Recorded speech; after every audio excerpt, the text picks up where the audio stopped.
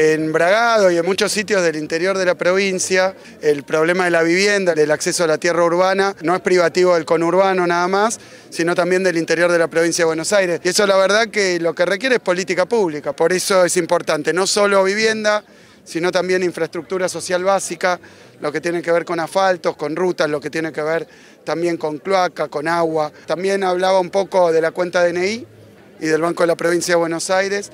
La verdad que en el interior de la provincia de Buenos Aires hemos hecho una política muy importante que tiene que ver con los reintegros, con los descuentos, pero también con la propia aplicación. Y hoy tiene 7.200.000 usuarios. Vemos colas en las carnicerías o en las granjas los fines de semana.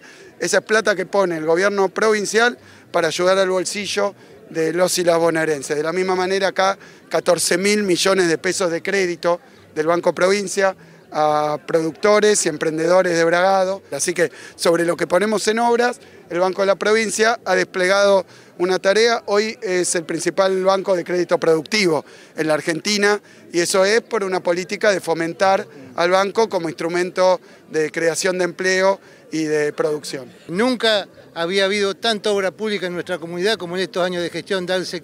El gobernador tiene una visión totalmente federal, abierta, digamos, no está únicamente en los lugares donde hay mucha gente, sino que va a los lugares más pequeños y los dota de servicios que eran impensados hasta hace muy, muy, poco tiempo. Un honor cada vez que viene el gobernador, para nosotros es un placer porque viene a inaugurar obras. Lo importante es que él nos diga hoy, como nos ha dicho antes, todas las obras que están en carpeta y que vienen para Bragado.